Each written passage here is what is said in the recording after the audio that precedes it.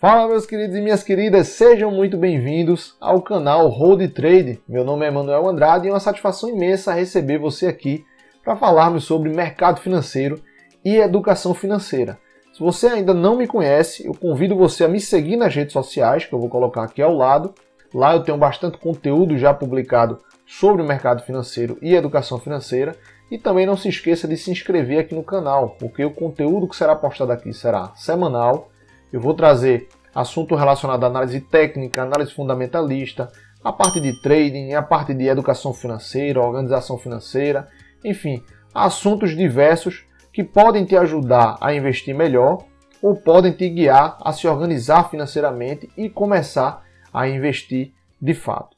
Então, nesse primeiro vídeo aqui eu quero falar um pouco sobre a minha história como investidor, o jeito Emanuel de investir, não é verdade? E também quero falar sobre a origem do nome Hold Trade, né? Por que esse canal tem esse nome? Tem uma história por trás disso aí e está muito ligada à minha forma de investir também. Para quem já é do mercado sabe que palavras são essas, mas para quem não é, vai entender um pouco sobre o contexto delas, né? Então, eu comecei a investir em meados de 2015 e 2016 por ali. Eu comecei pela poupança, há muito tempo, né?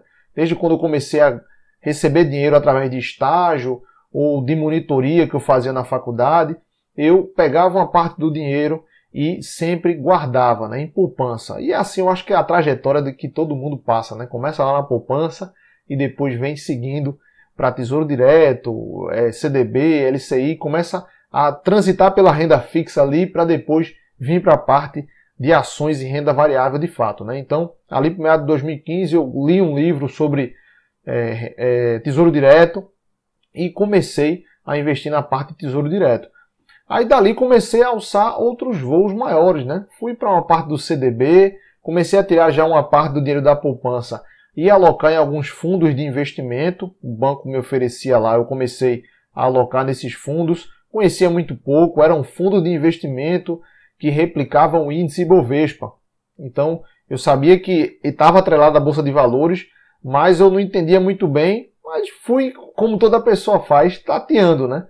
Fui testando, colocando um pouco do patrimônio ali, fui avançando também na parte de ações, comprei algumas ações de algumas empresas grandes como Petrobras, Vale do Rio Doce na época. Então comecei a me enveredar para esse caminho aí da renda variável.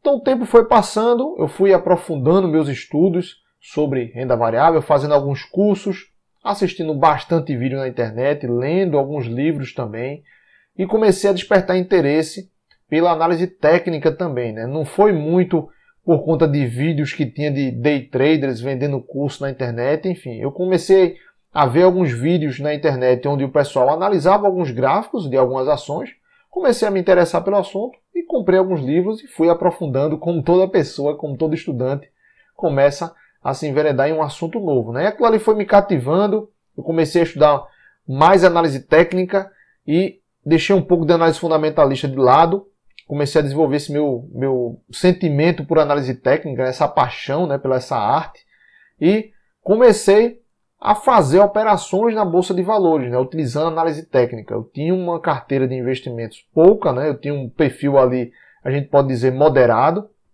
tinha uma carteira de investimentos, mas eu comecei a pegar um pedaço do meu patrimônio e comecei a fazer algumas operações na bolsa de valores. Como todo iniciante, me lasquei, né? Acabei quebrando a cara, acabei tendo prejuízos, seja fazendo day trade de ações ou day trade de futuros, que é onde todo mundo se lasca, né? É praticamente um cemitério ali de muita gente que quebra. Então, perdi uma quantia razoável no início, mas depois eu parei, pensei, respirei, né? comecei a estudar mais aprofundado né? a parte de análise fundamentalista e comecei a desenvolver uma carteira um pouco mais alinhada da forma que eu invisto. Né? Então, atualmente, como é que eu faço? Eu tenho uma carteira de longo prazo, onde eu foco em empresas de capitalização menor que a gente chama, né, que são as small caps e as mid caps ou micro caps.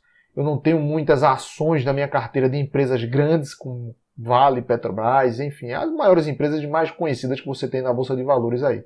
Então foco em empresas menores, tem um pouco mais de risco, tem mais volatilidade, elas balançam mais, mas o potencial de crescimento delas é maior. Né? Aquela relação que você conhece aí no mercado financeiro de risco e retorno. Né? Quanto maior o risco, maior o retorno que você exige ali de prêmio. Né?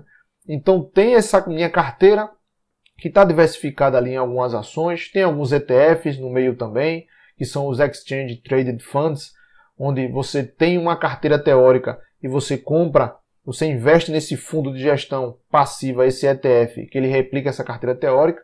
Então tem alguns ETFs, tem alguns investimentos internacionais que é através de ETFs também, e algumas ações de algumas teses exóticas que tem aqui no canal, que é a tese do urânio, por exemplo, a tese do cannabis também. Então eu tenho uma, uma carteira bem diversificada, mas tem um percentual do patrimônio com o qual eu faço operações de day trade e swing trade, né? Faço aquelas operações no intraday e aquelas operações de swing trade. Eu não sou uma pessoa que vivo de fazer operações na bolsa de valores. Eu sou uma pessoa que eu procuro rentabilizar o meu patrimônio acima do benchmark, que seria o Ibovespa. Então, como eu tenho essa gestão mais ativa da minha carteira, eu procuro ter uma rentabilidade maior. No início não consegui, quebrei a cara de fato, mas hoje em dia eu já consigo ter uma rentabilidade acima do Ibovespa, venho procurando crescer todos os anos e é assim o meu jeito de investir, né? Eu não sei se é adequado para todo mundo, para algumas pessoas vai ser. Eu, eu, já conversei com algumas pessoas e elas pensam mais ou menos alinhadas como eu penso no jeito de investir, né? Para outras pessoas elas preferem focar na carteira de longo prazo, ou na carteira de dividendos, ou numa carteira de ETFs. Então não existe forma correta de investir, não existe uma fórmula mágica de você investir. Como eu falo, tanto no material que eu já publico no, no, Instagram, quanto nas outras mídias, como podcast que eu trago episódio toda semana, que não existe forma correta, existe a forma adequada de você investir. Então a forma adequada que eu me encontrei foi dessa maneira, ter uma carteira de longo prazo e fazer algumas operações de curto prazo com um percentual do patrimônio. Eu coloco mais risco ali e faço operações de day trade ou swing trade. Então o que você tem que fazer é se autoconhecer e procurar uma forma que seja adequada para você. Isso você só vai conseguir através de teste, né? Você sentir o mercado balançar e através de estudos também de conhecimento, onde você vai aprofundando e assim você vai ganhando confiança e começa a, de certa forma, tornar o perfil um pouco mais arrojado. Né? Atualmente eu tenho um perfil que tem uma exposição bem maior a bolsa de valores. E foi por conta dessa forma que eu tenho de investir, que eu tenho uma carteira de buy and hold, que a gente chama, que é essa filosofia de carregar para o longo prazo. E eu tenho uma fatia do, do meu patrimônio que eu faço operações de day trade e swing trade. Foi aí que eu criei a página Hold Trade. Né? Foi um projeto que eu tive em meados de 2019, meados ali lá para o final de 2019, em que eu tinha essa ideia de criar essa página para poder falar sobre mercado financeiro na época eu chamei um amigo para tocar junto e a gente meio que fez essa dicotomia, né? Ele tinha uma filosofia e uma forma de investir mais buy and hold e eu tinha essa cara mais de day trading ou swing trading também, né? Ele era o holder, eu era o trader, né? Então a gente tocou a página até um certo momento e então esse meu sócio foi tocar alguns projetos paralelos e cá estou eu tocando a hold trade de forma solo, né? Por isso que tem esse nome, a parte de análise fundamentalista e que é responsável pela filosofia buy and hold, e você tem a parte de análise técnica e fluxo, que é responsável pela parte de trading, né? Por isso o nome hold trade. Então, para quem já me segue nas redes sociais, no Instagram e no Twitter, eu já tenho bastante conteúdo por lá, né? Eu posto diariamente conteúdo relacionado a educação financeira, a filosofia buy and hold e a parte de trading também, né? Trago tanto na parte de posts como stories, vídeos, enfim. Para quem já está lá nas redes sociais, já tem muito conteúdo. E para cá, para o YouTube, eu vou trazer conteúdo mais aprofundado, mais denso e mais explicado, né? Porque a plataforma me permite, né? Lá no Instagram você tem que gravar stories, você tem que publicar post em imagem e você não consegue tanta profundidade com relação a determinados assuntos, né? Falar sobre opções de ações, falar sobre trading, você mostrar gráficos lá no Instagram, é uma coisa um pouco mais complicada, né? Porque as pessoas usam mais celular para ver Instagram. E no YouTube você tem essa vantagem de ou usar o celular ou usar o computador também, que muita gente consome pelo computador. Então, por ter essa plataforma e essa mídia permitir que você consiga trazer um conteúdo mais denso, mais aprofundado, aí vocês vão receber isso através aqui do YouTube. Beleza? Então é isso, pessoal. Eu espero que vocês tenham gostado da história aí da Road Trade, do jeito maneco de investir, né? Que pode ser adequado para algumas pessoas, mas pode não ser adequado para outras. Mas eu vou trazer conteúdo aqui relacionado a essas duas filosofias, essas duas análises né, que são utilizadas, análise fundamentalista e análise técnica.